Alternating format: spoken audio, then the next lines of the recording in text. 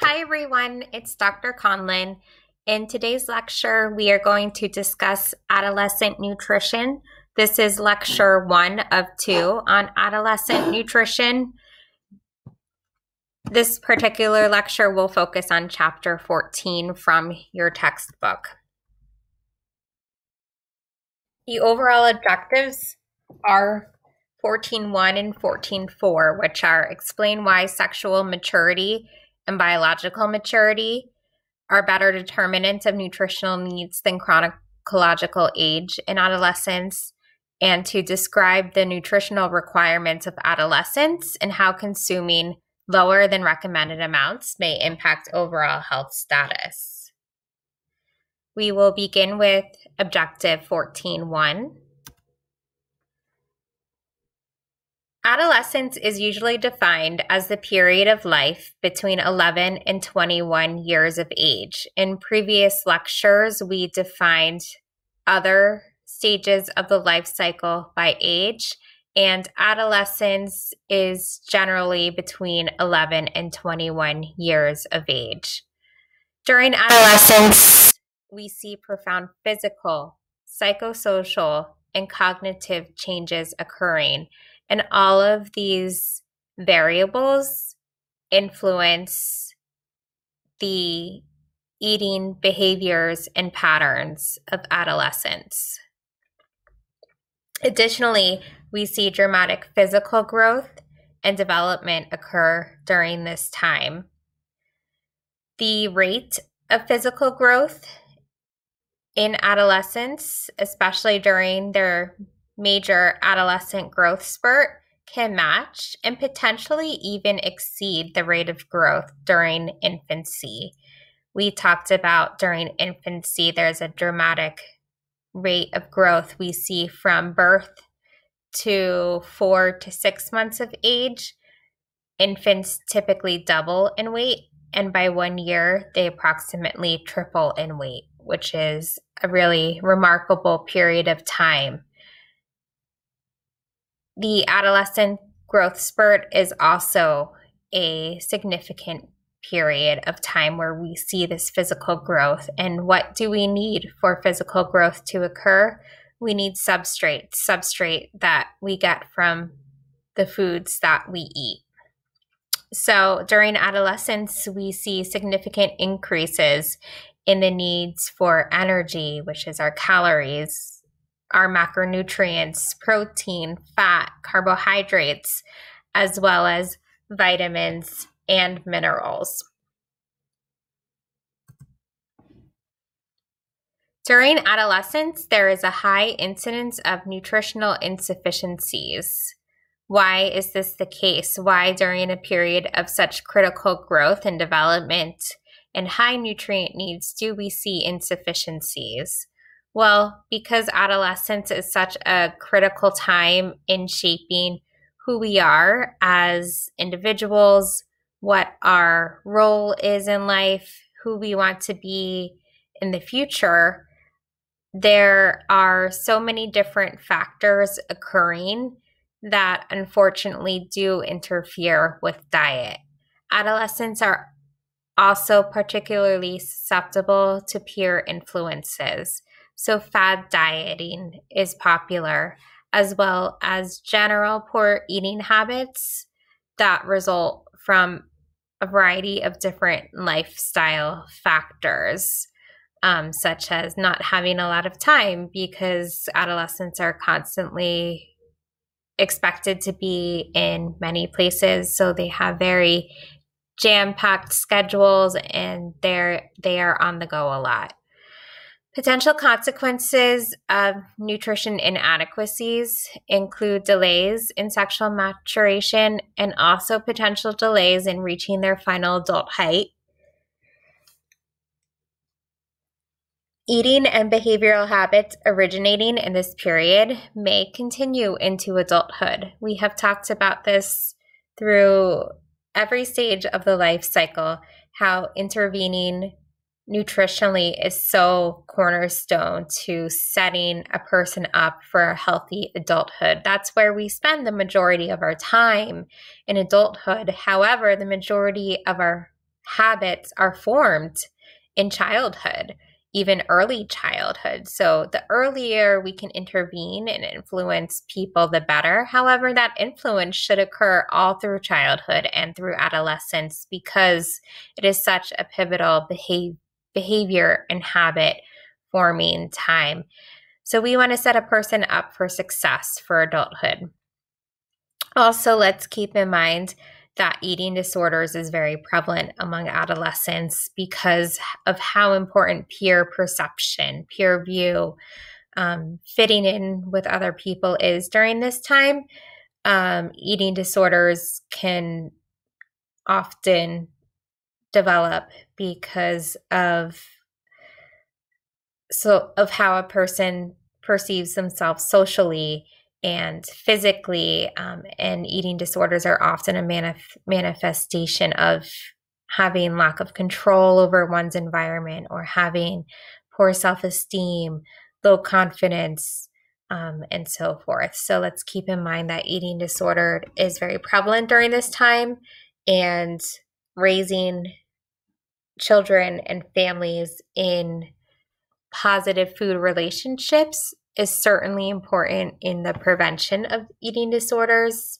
Um, but even then, there are some eating disorders with strong genetic components uh, that make people more prone to developing them, regardless of of environments. Um, so, how do we address that? And we will talk about that next lecture.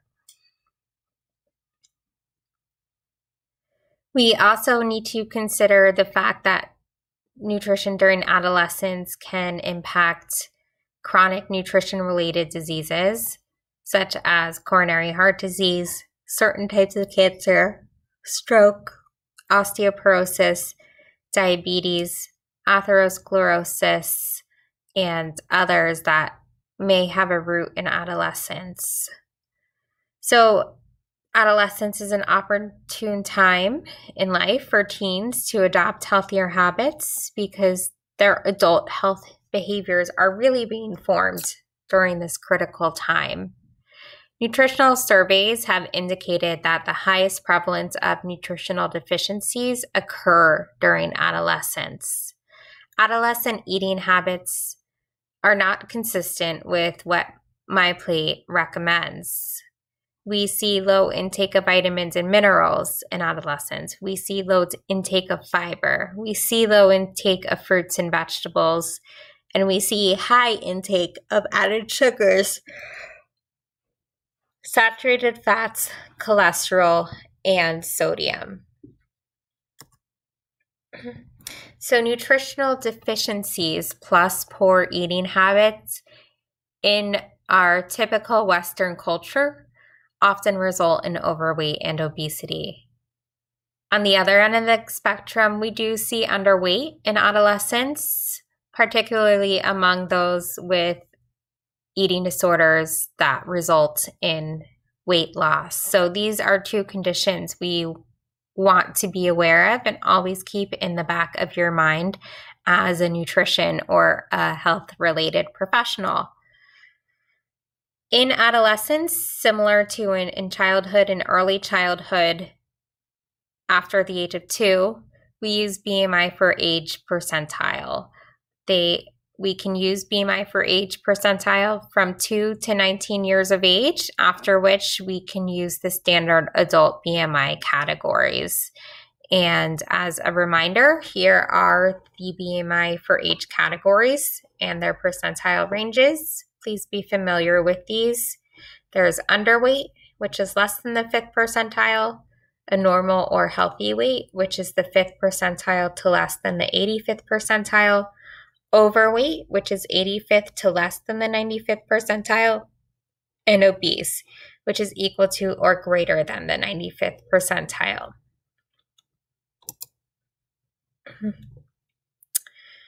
In adolescence, there is growing research that shows the patterns and how they develop over time.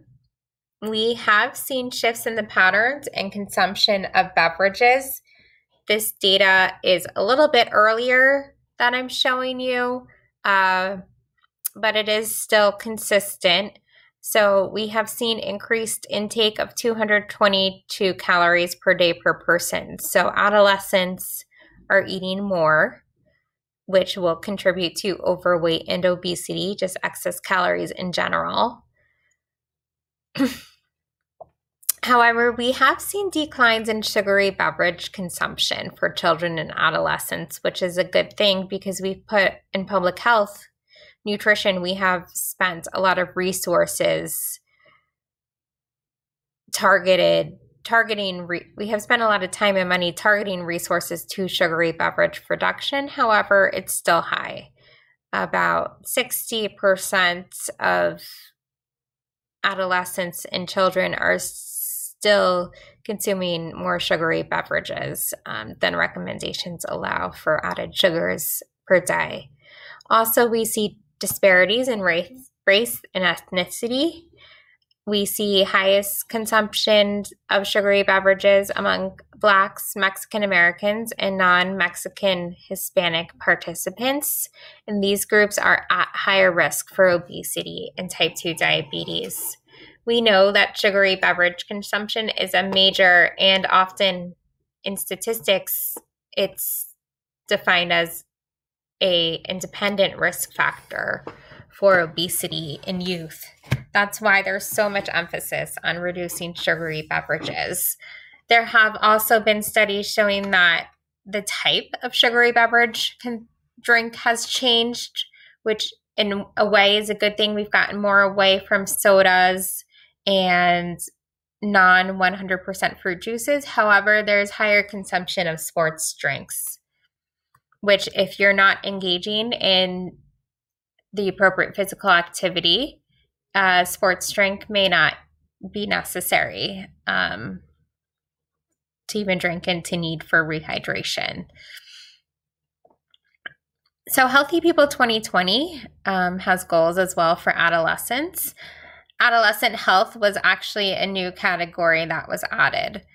And the goal is to promote health and reduce chronic disease risk through the consumption of healthful diets and achievement and maintenance of healthy body weights. And if you would like to learn more, you can visit the Healthy People website. We are going to move into defining stages of adolescent development.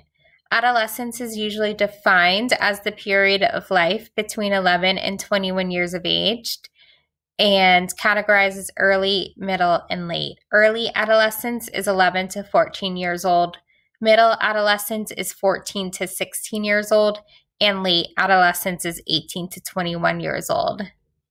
However, you may see slight variations in the definition of adolescence, and that's okay. Whatever source you're reading, just know what their definition of, of adolescence is. The most important thing is how are you defining your variable, um, not necessarily which definition is correct, because they all have different meanings and applications. But Healthy People has defined their adolescence from 10 to 19 years of age, and then they call young adults 20 to 24 years of age. So that's important to know because when you're looking at healthy people adolescence objectives, um, then you know that they are talking about 10 to 19 years of age. So, adolescence is a critical time of physical growth and development. During this time, we humans hit puberty. Puberty is the time frame during which the body matures from that of a child to that of a young adult. Biological changes include sexual maturation, increases in height and weight, accumulation of skeletal mass, and changes in body composition, adipose tissue, and bone.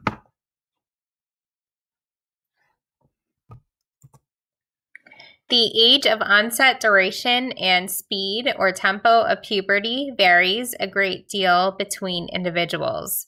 Females typically begin puberty earlier than males, which means females can typically go through growth spurts at some point earlier than males and actually be taller than their male counterparts.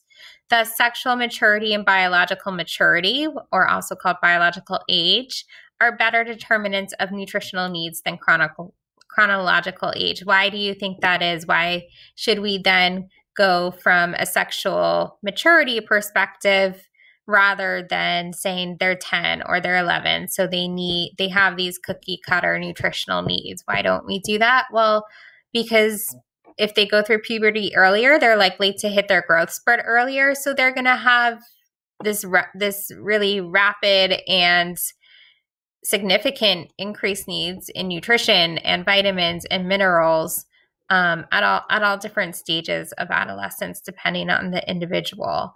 So this is a really nice chart that has age in years and then typical timeframes for puberty for females of 10 and a half to 14 years for males from 12 to 16 and a half years. Also shows, shows when cognitive maturation is typically develops from 12 to 16 years old. And then also psychosocial maturation which continues throughout the whole spectrum of adolescence into young adulthood um, noting that cognitive and psychosocial are continuous. We have changes and shifts cognitively and psychosocially throughout our lifespans. But puberty is during the time of adolescence.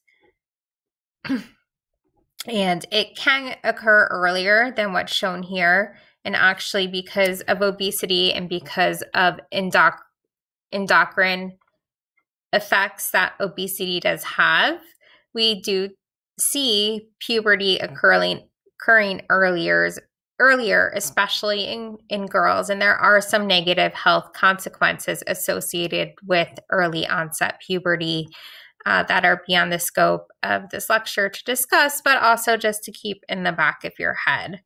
So we use sexual maturity to determine nutritional needs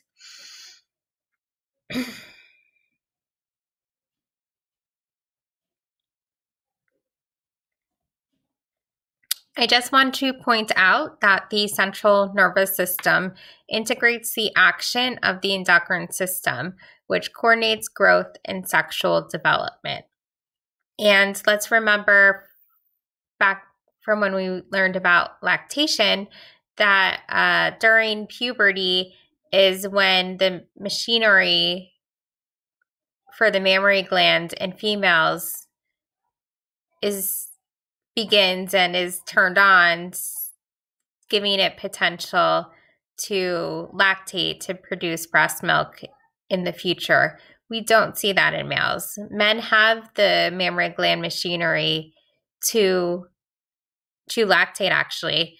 Um, but during puberty for them, that shift never happens because we all have different we have males and females have different hormones. We can assess sexual maturation using the Tanner stage.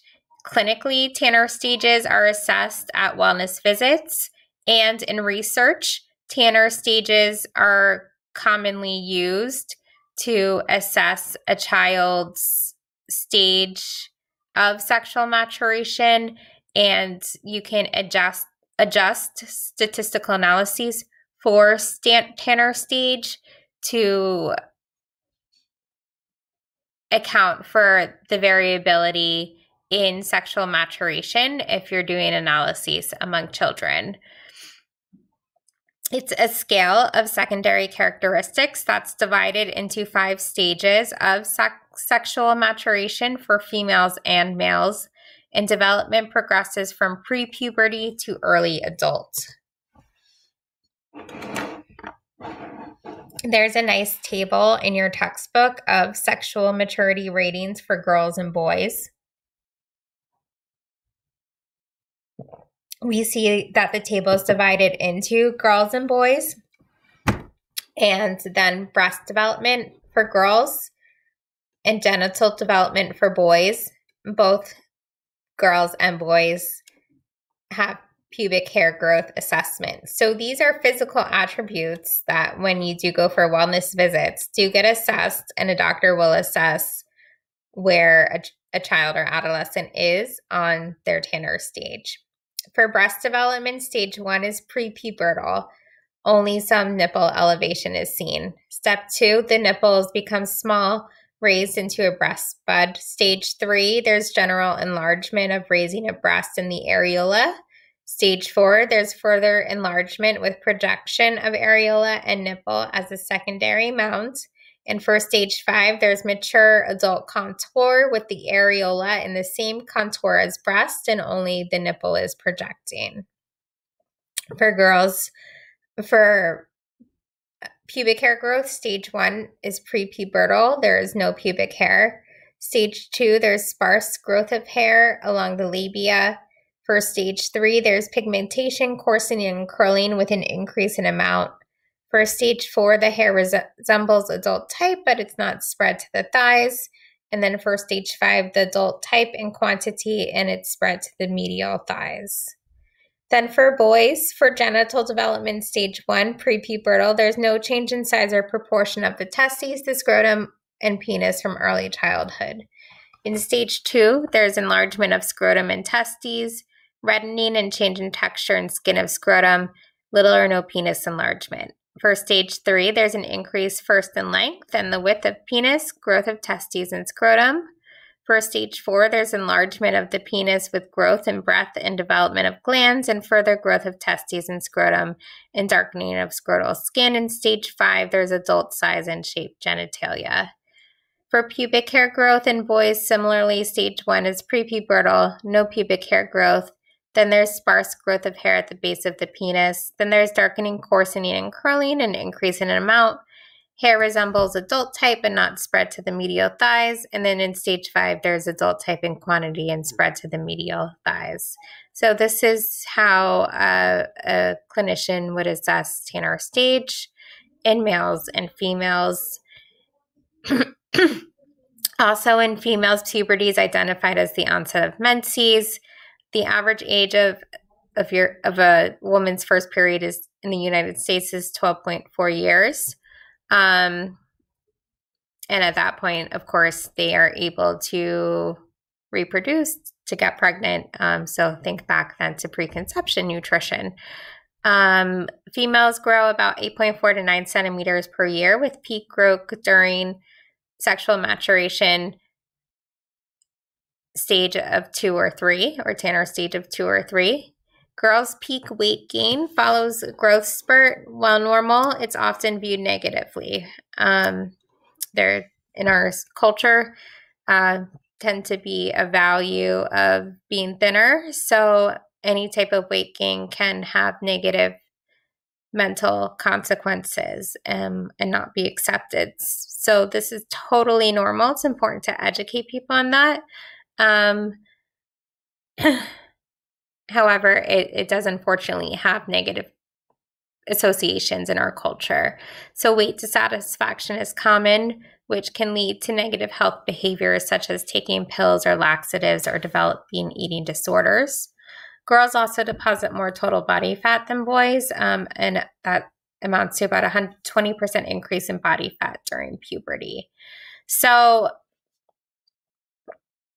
this is a very fragile time often. Going into puberty is a very fragile time for girls. There's a lot of, of hormonal and physical and mental emotional changes to consider when working with this patient population for boys, they tend to grow between 10 and a half to 17.5 years old with peak between 12 to 16 years. And we see much more variation with boys. They grow about 9.5 to 10.3 centimeters per year. Boys tend to deposit more muscle mass and they tend to gain more weight at a faster rate at approximately 20 pounds per year. And skeletal growth continues longer than girls. So it's not uncommon for you to still see boys growing in college and in their early 20s whereas girls once they hit puberty and go through the growth spurt they usually don't grow much much more after that. For boys where are where do we see challenges? Well well because because the timing of peak growth can be so variable. If you're a boy and you are a late late bloomer, um, you will have a lot of friends with a lot more muscle mass and a lot more weight than you, and that can be really difficult, especially for boys who play sports. And now all of a sudden, their friends are taller and bigger and faster than they are. While they're still waiting to grow. So, that definitely has psychological consequences. Um, it can be awkward feeling. The growth can be really rapid at some time. So if a boy goes from being like five feet and now all of a sudden they're six feet overnight um, or over a summer, you know, physically they might just feel very awkward as well. So please keep in mind that while we often tend to think of girls having disordered eating or disordered um, self esteem, these things are still extremely applicable to boys. Um, Self esteem is very fragile in boys, even though they may not um, talk about it or, or show it, but it, it's definitely there. It's definitely an issue. So we keep that in mind when we're working with both boys and girls. It's a difficult time for everybody. A lot of changes are occurring. So, as far as nutrient requirements, we use the DRIs, which we've talked about all through the semester so far. And just a reminder of definitions the DRIs provide the best estimate of nutrient requirements for adolescents. The DRI is the general term for a set of reference values used to plan and assess nutrient intakes of healthy people. These values, which vary by age and gender, include the recommended dietary allowance, which is the average daily level of intake sufficient to meet the nutrient requirements of nearly all healthy people the adequate intake, which is established when evidence is insufficient to develop an RDA and it's set at a level assumed to ensure nutritional adequacy, and the tolerable upper intake level, which is the maximum daily intake unlikely to cause adverse health effects.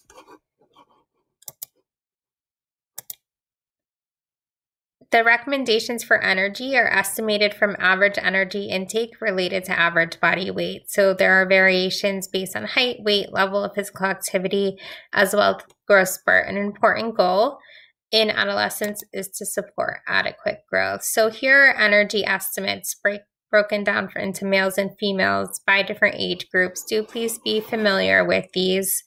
Just to note that the reference population used to estimate these is based on the 1989 RDAs for height. Um, so for males, 11 to 14 years old males and females, it's 55 calories and 47 calories per kilogram, respectively. For males and females 15 to 18 years old, it's 47 and 40 calories per kilogram, respectively. And then for males 19 to 24 and females, it's uh, 16.4 and 13.5 calories per centimeter, respectively.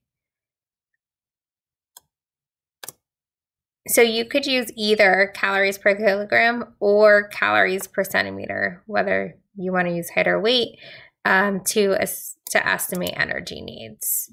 And then requirements for protein on, are based on data for body composition and calculation of growth rates. For males and females from 9 to 13 years old, the RDA for protein is 0.95 grams per kilogram. For males and females 14 to 18 years old, it's 0.85 grams per kilogram. This means that protein is about 10 to 30% of total calories for adolescents. there are also calculations to estimate protein needs um, based off of height in centimeters. So be familiar with these values as well. I'm just not going to continue to read through them. As far as carbohydrates and fats, adolescents should consume diets with 25 to 35% of calories from fats, with a focus on omega 3 fatty acids. Less than 10% of calories should come from the saturated fat and around 300 milligrams of cholesterol. 45 to 65% of calories should be from carbohydrates, with an emphasis on foods rich in complex carbs and fiber. Uh, for females, fiber should be about 26 grams per day. And then for males less than 14 years old, it's 31 grams per day. And greater than 14 years old, it's 38 grams per day. And fiber is a nutrients shortfall in this country, so adolescents are not meeting their daily recommended fiber intakes. Um, also, just to point out that you need carbs as an adolescent to support that growth spurt, um, to support growth in general, to support all the activity that they do throughout their day, um, to support sports, um, we know that breakfast that has the right balance of carbohydrates does show co- unequivocally cognitive improvements in school. So, what point am I trying to make right now that adolescence is really not a time for fat diets, even though fat diets are very trendy and popular for adolescents to try? And with social media now and a lot of adults, adult fat diets getting out there, like ketogenic diet, you know, it's really not a time for adolescents to try these extreme fat diets, in, including ketogenic diet, um, because it it will result in nutritional adequacy inadequacies that can impact many many aspects of their life. Um, including micronutrients there are greater energy demand means um, that are necessary for the release of energy that comes from carbohydrates, including thiamine, riboflavin, and niacin. B vitamins are really important. There's increased tissue synthesis, which means a greater demand for substances needed for DNA and RNA metabolism, including folate and vitamin B12.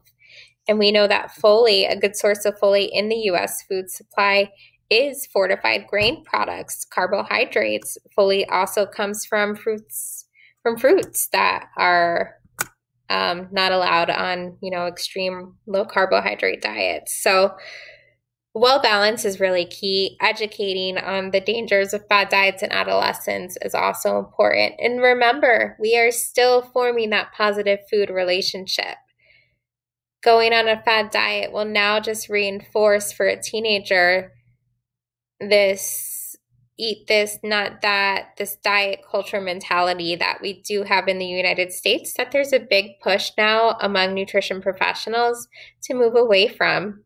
The no diet diet is now becoming trendy, right? Um, which is great because it's so much more focused on what our individual needs are and listening to our own body and eating intuitively and making healthy food choices um, so just keep that in mind as we talk about everything. So, um, rapid rate of skeletal growth during adolescence also needs means a need for vitamin D. Uh, vitamin D enhances intestinal absorption of calcium and phosphate, and the RDA 600 IU's per day. There's also need for increase in vitamin A, C, and E to maintain structural and functional properties of new cells that are attained during growth. So we need increased calcium for to support the skeletal system. Uh, there's increased iron needs for expansion of blood volume, and as well as zinc for the generation of skeletal and muscle tissue. Calcium tends to be low in adolescent diets. The RDA is 1300 milligrams per day. Calcium is needed to achieve bone mass during adolescence. Not having enough calcium can, de- can increase risk of osteoporosis, so we want to ensure adequate calcium intake so that we decrease the risk of osteoporosis during later life and educating on sources of calcium, including dairy and non dairy sources of calcium, are really important. Iron deficiency during adolescence is huge, um, partly due to the rapid growth. There's such sharp increases in lean body mass, in blood volume, and red cell mass. Um, these increase the iron needs for myoglobin and muscle and hemoglobin and blood. So, iron is really critical. We also want to make sure iron's being met, whether through diet or supplementation, because we know that iron is one of those nutrients that can be harder to obtain through diet. Females are at highest risk. Why? Onset of menses. Once a month, females menstruate and have blood loss. With that blood loss comes iron loss. So, females have higher needs for iron than males do during adolescence. Um, they're both 8 milligrams per day from 9 to 13 years old.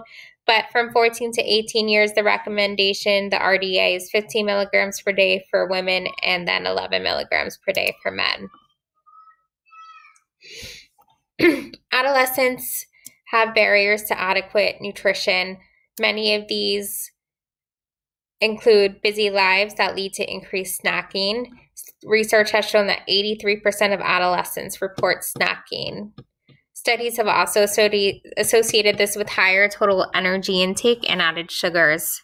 Meal skipping is common. Only 38% of high school students eat breakfast on a daily basis, according to national data, as well as eating away from home. More than one third of meals are consumed away from home.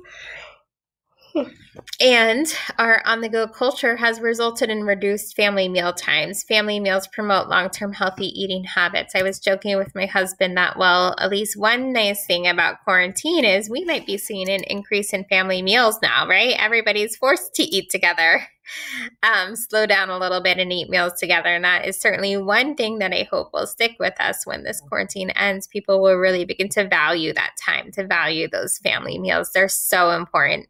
I mean, research study after research study just consistently shows the importance of having that sit down family meal, turn the TV time, turn the TV off, focus on each other, focus on eating. Food is just so important culturally and in our relationships. And it has such a profound psychological impact when we can do that, when we can take the time to sit and eat with people we love and share in foods that give us good feelings. All of that is so important. So important for intuitive eating too. That's what intuitive eating is is all about.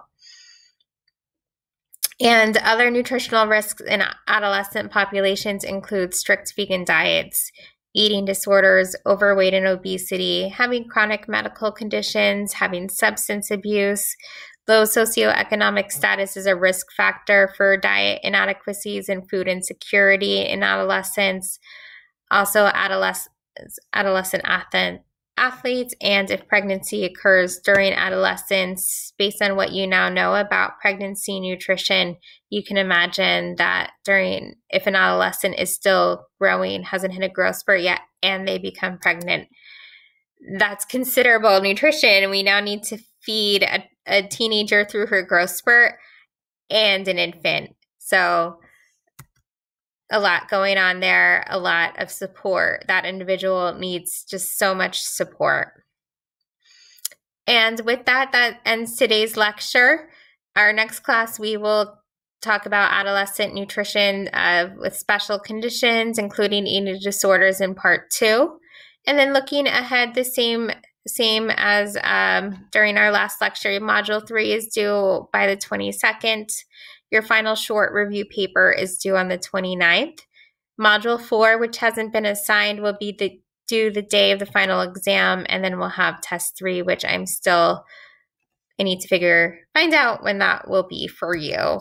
So thank you. Here's a couple of self-assessment questions you can do for yourselves. Um, thank you for listening. I hope you all are doing well staying safe and healthy. I hope your families and friends are staying safe and healthy.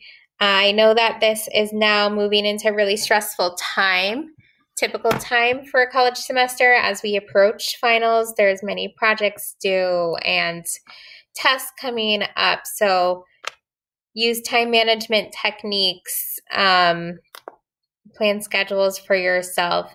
You know, if you're if you're working this is your work too. What you do is very important for work, and those experiences are invaluable and will help you get where you're going in life. But really, these next two to three weeks, also remember that school is your priority. And once in three weeks from now, everything will be behind you. You'll check these courses off of your list. You'll be one step closer to graduation and to meeting your post graduation goals.